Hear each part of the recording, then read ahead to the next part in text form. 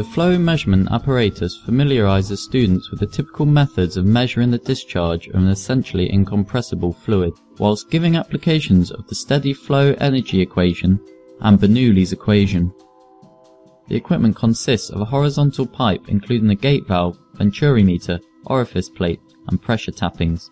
The discharge is determined using the venturi meter, an orifice plate meter, and a rotameter. Head losses associated with each meter are determined and compared, as well as those arising in rapid enlargement and a 90 degree elbow. The valves keep the air in the manometer tubes to allow you to offset the pressure range of the tubes.